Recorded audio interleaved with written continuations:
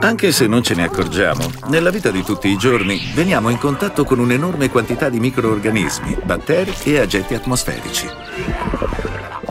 A proteggerci c'è un vero e proprio esercito, composto dalle cellule del sistema immunitario, i globuli bianchi, che hanno due strategie di difesa. La prima si basa sull'azione delle cellule fagocite, che sono in grado di riconoscere i microbi ed eliminarli.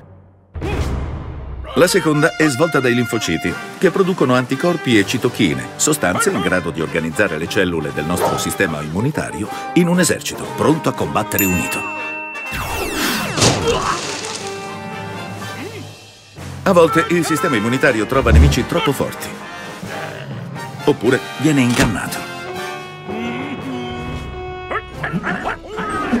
In queste situazioni si richiede l'aiuto di forze esterne, come farmaci o altri rimedi.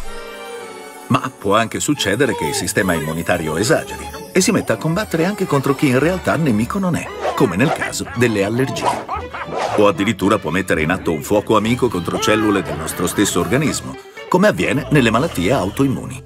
Oggi però abbiamo imparato ad educare il nostro sistema immunitario per renderlo ancora più efficiente. L'abbiamo fatto con la vaccinazione grazie alla quale abbiamo eradicato dal pianeta alcuni pericolosissimi microbi.